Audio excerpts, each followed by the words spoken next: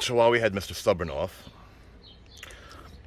let's pull the door panel off. We have trap door number one and trap door number two. This guy. And always pull from the corner. I already got her out and about. Hey, my sprinkler. I gotta get a new one. So let's pull this guy off to get him out of the way and pull this guy up and out. All right, let me put this down. Let me pause it. Get this thing out of my hand. Wait, is she coming? Is she coming?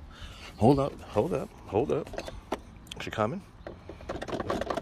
Come on.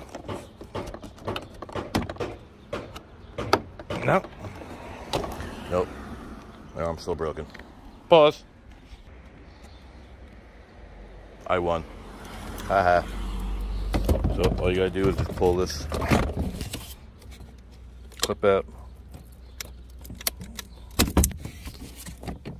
And there you go. On my beautiful grass. Scotts, by the way. Scotts. Oh, and we got rivets. Oh, we got rivets. All right, well, let me finish this one off. So I'll do that in another video, show you how to do that. So like it, don't like it, share, don't share, subscribe, don't subscribe. Thanks for watching.